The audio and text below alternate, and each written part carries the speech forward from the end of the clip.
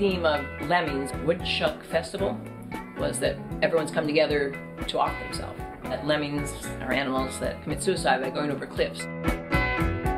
So they were given advice on how they might do this along the way by the announcer, who was John.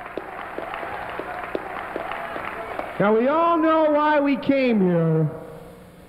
A million of us.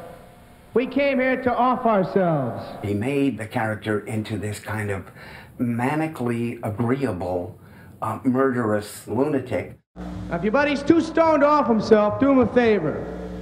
Roll him up in his sleeping bag and drag him over to where the tractors can run him down. Chris Guest did a James Taylor that was genius. Farewell, New York City, with your streets that flash like strobes. Farewell, Carolina, where I left my frontal lobes. Hey! City! Hey, return John! John! Hey! There was a sketch where John and I were two high school or college guys at urinals just talking. I can't even remember what it was about. But I do remember that they were laughing all through.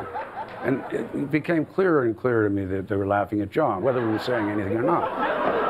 I'm like this talking to John.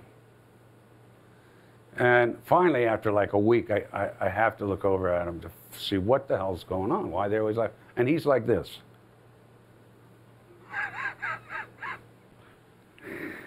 Never knew it, never told me. the little bastard just took me.